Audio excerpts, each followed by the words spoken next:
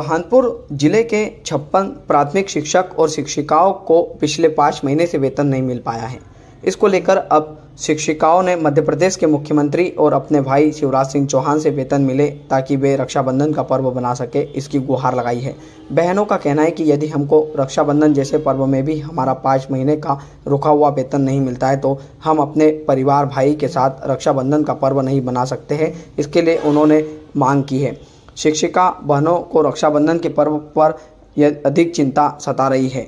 यदि रक्षाबंधन के पर्व से पहले उनको वेतन मिलता है तो उनके परिवार में भी खुशी और वे अच्छे से परिवार के साथ रक्षाबंधन का पर्व मना पाएँगे।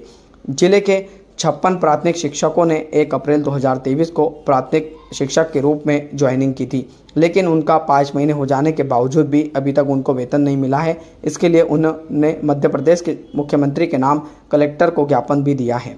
शिक्षिका ज्योति ने जानकारी देते हुए बताया कि मध्य प्रदेश के सभी जिलों में एक साथ नियुक्तियाँ हुई थी। सभी जिलों के शिक्षक, शिक्षिकाओं की नियुक्ति के बाद से उनको वेतन मिलना शुरू हो गया है, लेकिन हमको पाँच महीने हो गए हैं, वेतन नहीं मिल पाया है।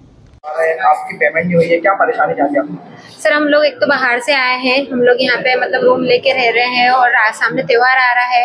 अब हम लोग रक्षाबंधन पे जाएँगे हम लोगों के पास कुछ भी नहीं है मतलब सैलरी के नाम पे पाँच महीने से हम लोगों को कुछ भी नहीं मिला है एक महीने की भी सैलरी नहीं है। तो ये त्यौहार भी हम फिर कैसे मनाएँगे? त्योहार मनाने में परेशानी आएगी। हाँ मतलब सर। हाँ सर जैसे हमारे हाँ रक्षाबंधन है हमारे भाई के लिए राखी। अब राखी लेने के लिए भी हम लोगों के पास पैसा नहीं है क्योंकि हम लोग पाँच महीने से मैनेज करके यहाँ पे रह रहे हैं बाहर।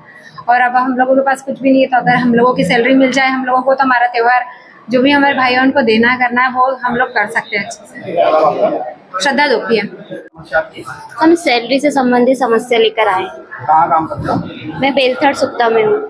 नहीं सभी लोग काम करते मतलब बुरहानपुर डिस्ट्रिक्ट में शिक्षा विभाग में काय के पद पर आप प्राथमिक शिक्षक के विभाग पर। कितने महीने की सैलरी नहीं मिली? ये पांचवा महीना लग गया और हमारी एक भी महीने की सैलरी नहीं मिली। शिक्षा के हैं?